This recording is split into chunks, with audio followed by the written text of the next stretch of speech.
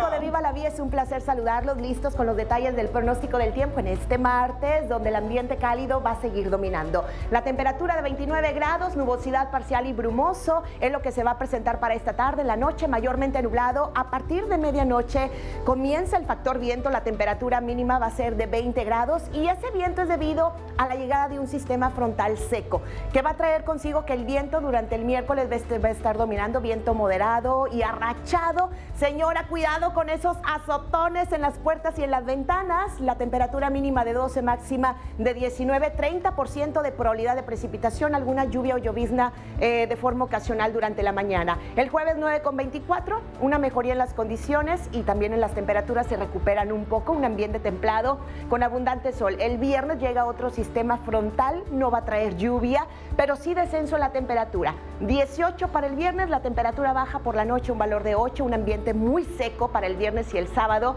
El sábado 5 la mínima, un ambiente frío durante la mañana, fresco por la tarde 19 y el domingo 6 con 21. En información meteorológica, vámonos al otro lado del estudio con más de Viva la Vida.